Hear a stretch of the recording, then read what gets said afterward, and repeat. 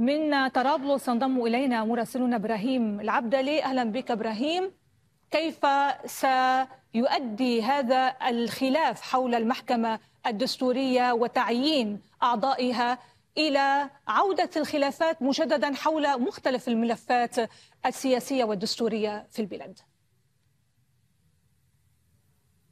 نعم ريما هذه المسألة سبق وأن أدت إلى توقف التواصل ما بين مجلسي النواب والأعلى للدولة في أبريل الماضي بعد أن علق مجلس النواب كافة أشكال التواصل مع مجلس عفوا مجلس الدولة علق كافة أشكال التواصل مع مجلس النواب على خلفية رفضه لهذا القرار أو لهذا القانون وهو قانون إنشاء المحكمة الدستورية. هذا القانون أصدرت الدائرة الدستورية بالمحكمة العليا في في الأشهر الماضية قرارا ببطلان هذا القانون وذلك بعد أن قبلت الطعن المقدم من رئيس المجلس الأعلى للدولة خالد المشري بهذا الخصوص وبالتالي يعتبر هذا القانون باطلا ولا يصح العمل به واعتبرته الدائرة الدستورية بالمحكمة العليا غير دستوري. ولكن رغم هذا الأمر إلا أن مجلس النواب وبعد رفض الدائرة الدستورية بالمحكمة العليا لهذا القرار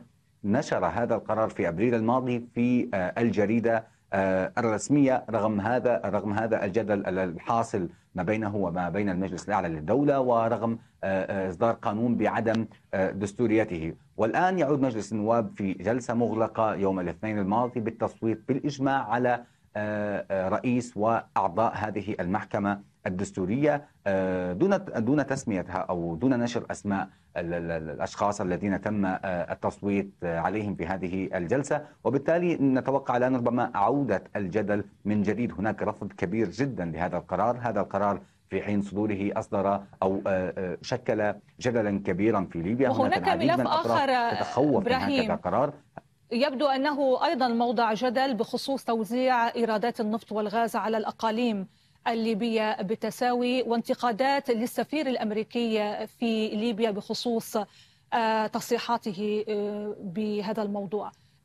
ما الجديد أيضا حول هذا الملف؟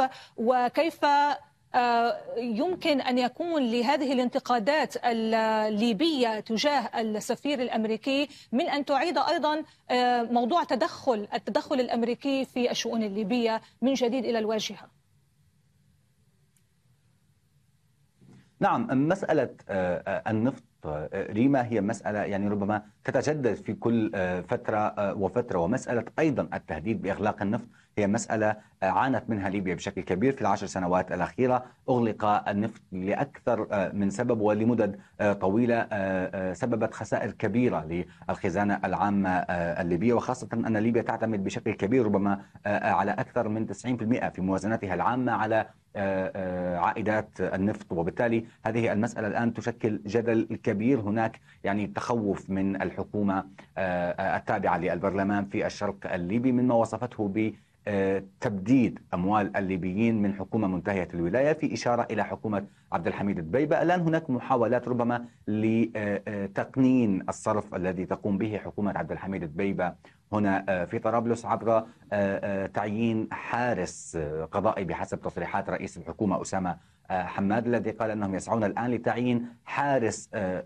قضائي حتى يتمكنوا من منع ربما من منع حكومة عبد الحميد الدبيبه من صرف الأموال من باب التنمية وفقط أن تقتصر مصروفات هذه الحكومة على باب المرتبات. والآن هناك جدل كبير حقيقة بعد تصريحات السفير الأمريكي وهذه ليست هي المرة الأولى التي يكون فيها هناك ردود فعل يعني وخاصه من البرلمان أو الحكومة التابعة يعني الشرق الليبي البرلمان حول تصريحات بقياده أي من السفراء كان اللواء المتقاعد خليفة نعم. حفتر كان قد أصدر قرارا في وقت سابق بإغلاق الموانئ النفطية لوقت كبير. الآن هناك تعليق لعمل الموانئ النفطية. هل نتوقع أن يتم الذهاب مجددا إلى إغلاق كامل؟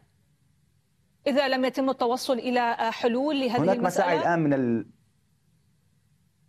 هناك مساعي من المؤسسة الوطنية للنفط لعدم الوصول لهذه النقطة. كان هناك اجتماع في الأسبوع الماضي ما بين رئيس المؤسسة هنا ورئيس حكومة الحكومة التابعة للبرلمان في بني غازي. حول هذا الملف هناك مساعي من المؤسسة للوصول إلى صيغة تفاهم حول التحكم أو أو صرف عائدات النفط بشكل متوازي. وهذا أيضا ما أشار إليه رئيس عفوا السفير الأمريكي في تصريحاته أن ليبيا بحاجة إلى توزيع عادل. وهذا الأمر أيضا سبق وأن أشارت إليه البعثة الأممية. هناك يعني فجوة ربما في الصرف. هناك دائما شكوى من الجهة الشرقية وأيضا الجهة الجنوبية في ليبيا من أن هناك عدم توازن في المصروفات وأن الحكومة في الغرب تتحكم في مصروفات النفط بشكل كبير وخاصة وعائدات النفط تذهب إلى مشاريع بعيدة عن